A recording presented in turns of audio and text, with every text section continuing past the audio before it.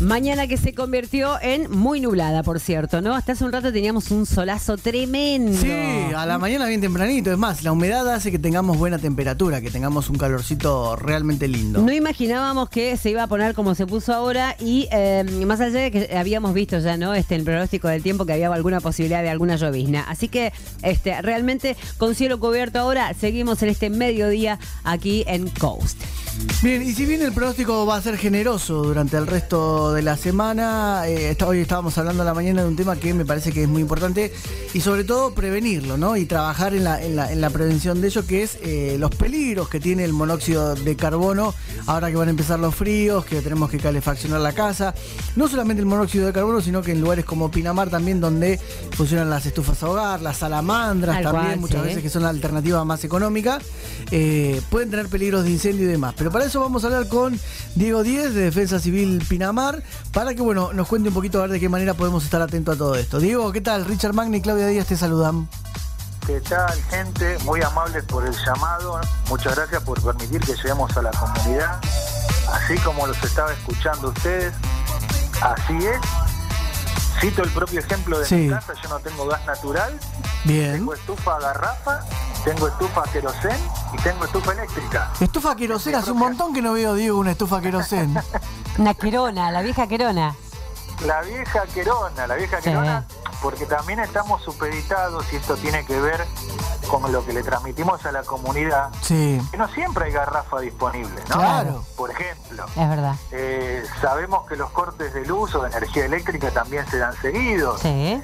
Eh, y entonces uno, bueno, el frío, cuando el frío llega, no pregunta. Y bueno, ¿qué tengo a mano? Sí. Y aparece hasta el viejo y peligrosísimo brasero. Uh, sí, ¿te sí. acordás también? Sí, también. ¿No?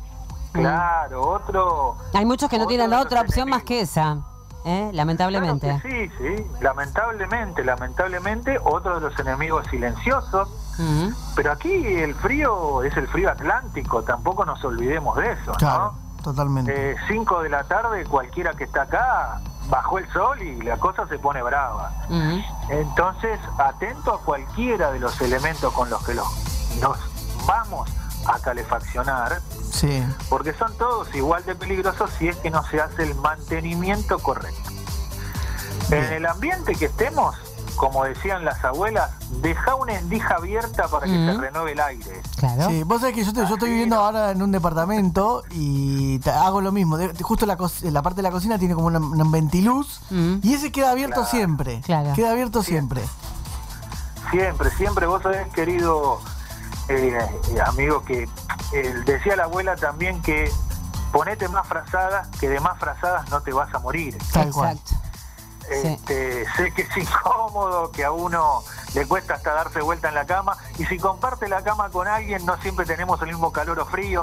Exacto, es verdad también, sí, señor.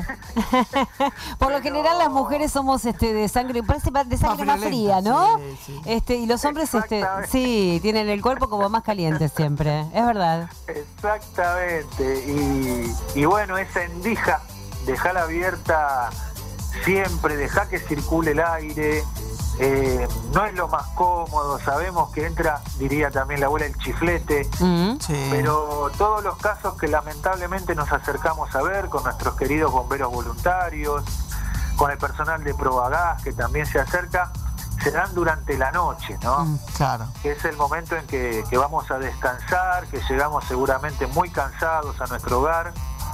Y sea lo que sea que dejamos prendido, bueno, son ocho horas de sueño, donde el famoso enemigo silencioso hace su trabajo y el desenlace suele ser fatal.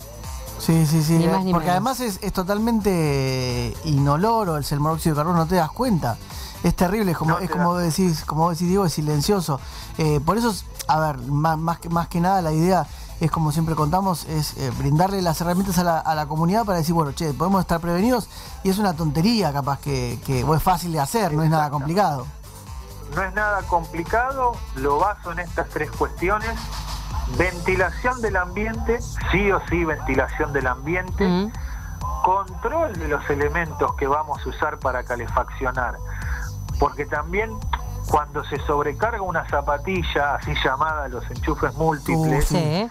vamos a ver los incendios en las casas originados justamente por la múltiple conexión en la zapatilla Sí. y la estufa eléctrica, que es una resistencia plena, para que alguien lo entienda como es una plancha, Claro. va a sobrecalentar la línea. Entonces, tratemos de limpiar la estufa eléctrica que durante el verano queda arrinconada ahí para, para apoyarle la toalla. Se llena de tierra, se llena de esa pelusa que después Sí. entra en combustión, ¿no es cierto? Entonces revisemos eso, ¿sí? Y ante la duda comunicarse al 103, Defensa Civil, eh, que le vamos a dar todos los, los consejos que sea acorde, insisto, al tipo de calefacción o a los tipos de calefacción que tengan en la casa. Está, está muy bueno. Ventilación, control de los elementos, llamen al 103.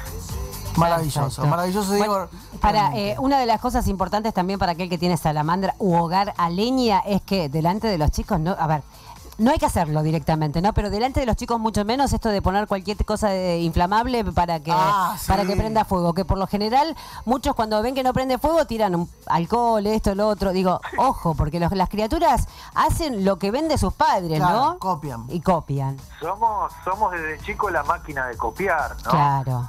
Le agregamos la pinocha, le agregamos la piña que la tenemos acá Sí, a mano. al alcance de la mano. ¿Cómo que necesitamos, que necesitamos tiene- ver la llama ahí ardiendo? Sí. Claro, exactamente. Entonces, yo recomiendo calefaccionemos nuestro hogar hasta las 10 de la noche, horario normal en que uno se acuesta, y luego apaguemos todos los elementos, ¿sí?